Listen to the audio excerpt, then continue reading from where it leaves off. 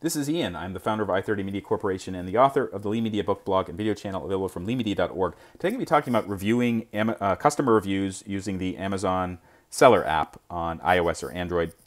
Before I get started with this disclaimer, you are responsible for following Amazon's terms and conditions and rules. It's possible to lose money or even get your account shut down if you do things wrong. So do this at your own risk and follow the rules. Uh, here is the Amazon Seller app. This is iOS. Android looks quite similar. So just go to the home page there and then find customer reviews. It's halfway down the page and tap that.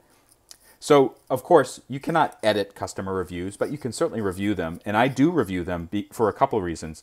Uh, for one thing, I'm very interested in seeing what people say about my products.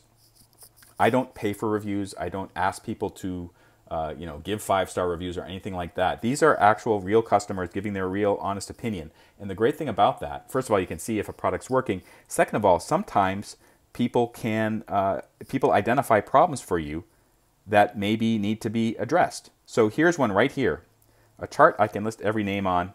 And this person says, I wish there was room to write larger or more. So this, let's tap on that on each line, but all in all, I can get the complete family tree on this chart. So maybe I could take that feedback and say, okay, well, um, you know, I need to change the, the way that these partic this particular product is set up and maybe uh, improve the features or do some other change. So that's one reason to use the reviews. The other reason to use to take a look at the reviews is sometimes there might be abuse or something wrong with the review. I'm not talking about a one-star review you don't like. I'm talking about reviews that are just, you know, something is off. Like, look at this one here. Uh, good for this particular product, weight loss. So this person said, that's all they said, weight loss um, for this particular product, which has nothing to do with weight loss. So for something like that, um, I, I, don't, I don't want to report it as abuse because I don't think it is abuse. Um, but what I might want to do is go to Amazon and say, hey, um, I think that this, this particular review was for something else and um, it should be it should be removed. And I found that if if people are reviewing something completely different, um, or honestly they're they are abusing you or abusing somebody else, um, you can ask Amazon to uh, take a look at that, and they they might end up uh, removing that.